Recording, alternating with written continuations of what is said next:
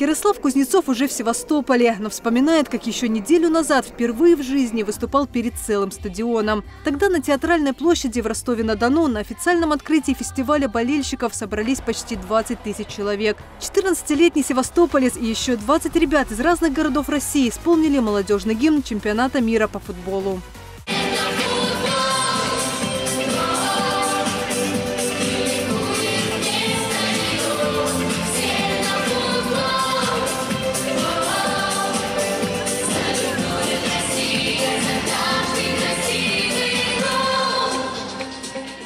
И это было очень круто. И все болельщики махали флагами, махали такими надувными битами. Когда там даже просто с ума сходила часть, что он оказался на футболе, там кричали, вопили.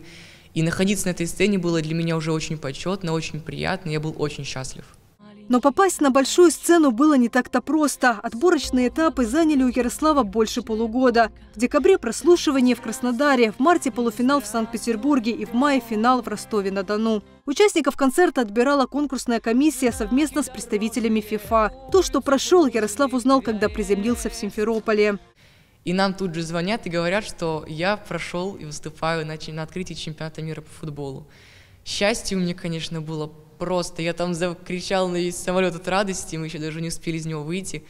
Даже там с нами рядом сидела наша соседка по месту. И она тоже нас так обрадовалась, тоже сидела, улыбалась, поздравляла. Мы там всем самолетом радовались за меня.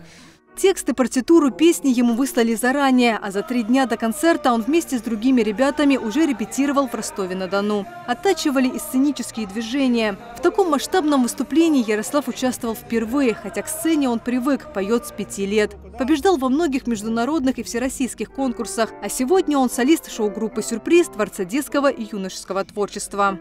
Я всегда говорю, что каждый ребенок по-своему талантлив. И если все-таки он в каком-то одном направлении себя проявил действительно эксклюзивно, действительно так, что это заслуживает внимания, мы стараемся во дворце делать все возможное, чтобы поддержать ребенка, толкнуть его, дать ему, ну, как говорили раньше в старые времена, путевку в большую жизнь. Ярослав признается, вера мамы в успех дала ему силы побеждать. И все выступления сегодня парень посвящает именно ей. А в будущем собирается стать профессиональным артистом. После окончания школы планирует поступать в консерваторию. А желают удачи Ярославу на пути к мечте Елена Корнухова, Сергей Котлеренко и весь коллектив информационного канала Севастополя.